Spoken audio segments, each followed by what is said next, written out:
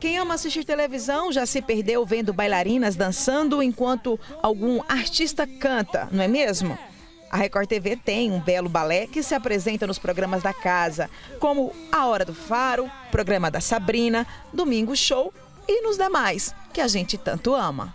Só que quando a gente está assistindo aí no conforto das nossas casas, a gente pode até pensar que elas chegam lá na hora da dança, faz uma coisa espontânea, combina, olha, vamos dar dois passinhos para cá, dois passinhos para cá e pronto.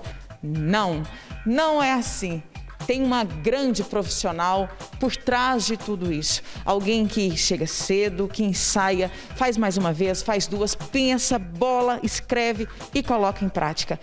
E a boa notícia que essa mulher, essa profissional, essa coreógrafa é a goiana. Gente, Paola Crozara nasceu, cresceu, estudou aqui em Goiânia e há 15 anos alegra a todos nós telespectadores com a dança da Record. Exatamente, mulher, goiana do pé rachado, como diz o outro. Mulher, me conta tudo. Você estudou, nasceu, cresceu, estudou aqui? Tudo. Minha formação em dança é aqui, fiz música também, fiz a UFG pianista. É, estudei e fui para lá para estudar teatro e TV.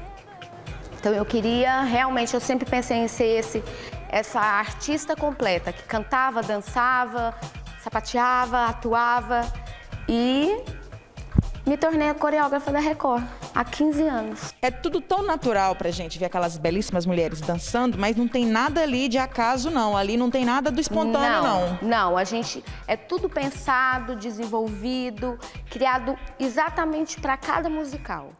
A gente recebe o cantor que vai, no caso dos musicais, e a gente cria e eu monto com as meninas, ensaio, a gente passa palco e no final elas gravam. São belíssimas meninas, negras, loiras, ruivas, sempre com corpão, pronta, com a coreografia na ponta do pé, na ponta da mão, né? Porque Exatamente. Tudo... Claro que a gente tem muito improviso, isso é muito legal de falar, porque vários momentos o cantor muda a música na hora. E aí? Então eu montei e o cantor na hora vai cantar outro. Então o olhar delas é tipo, e agora?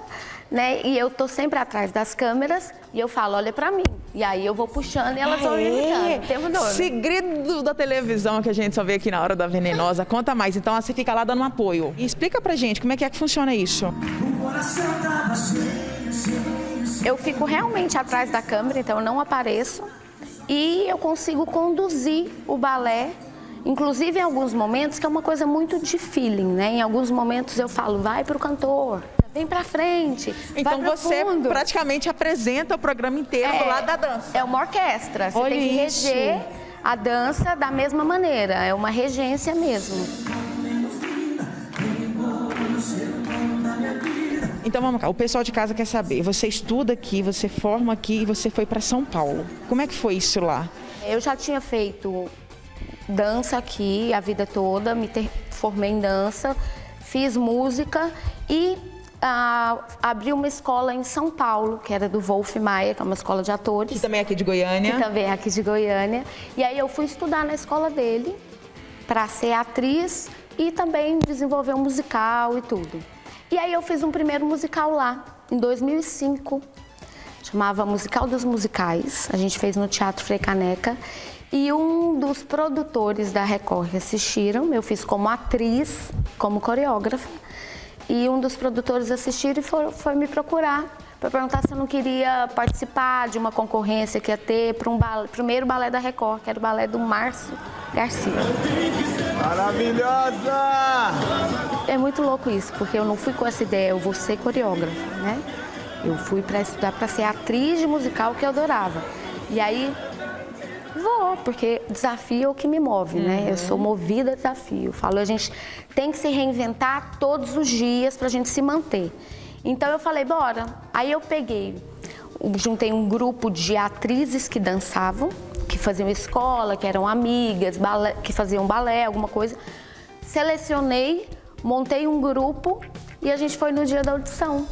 Depois do programa do Márcio, você foi para quais programas? Comecei no Márcio Garcia, aí eu migrei, continuei no Márcio, mas migrei para Ana Hickman, era Tudo é Possível.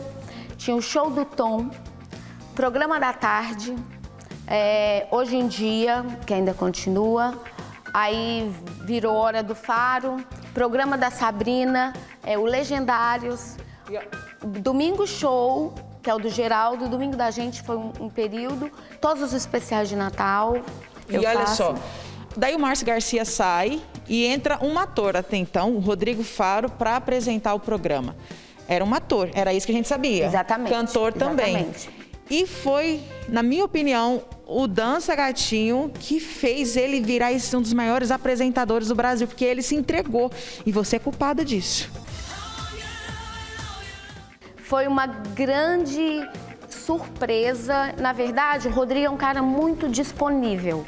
E ele é muito é, engraçado, divertido, né? Então, quando o Michael Jackson faleceu, que ele era muito fã, e todos nós, né, que era o, era o rei de tudo, da dança, dos videoclipes, é, o Faro fez uma homenagem. Cada vez que a pessoa beijava, ele dançava o Michael Jackson. E aquilo repercutiu de uma forma muito positiva. Só que a primeira vez ele fez do jeito que ele estava. A gente falou: não, pera.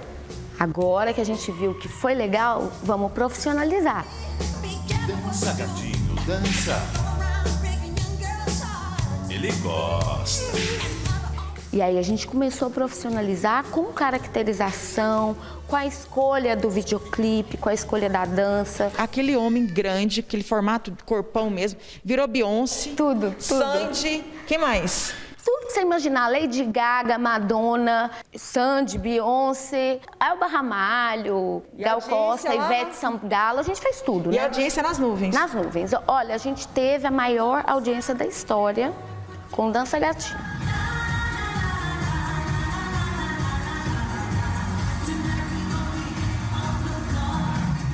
Para você ter uma ideia que tem sempre um grande profissional junto de uma, um grande projeto, um, um, grande programa. Então é essa menina, né, que já está fazendo 27 anos pela décima vez. Ela me contou que não é. sai dos 27. Não sai, gostei. Acho que combina comigo. Não tem um cara de A idade é 30, sua, você exemplo. faz o que você quiser. Tem um cara de 35. Não tenho.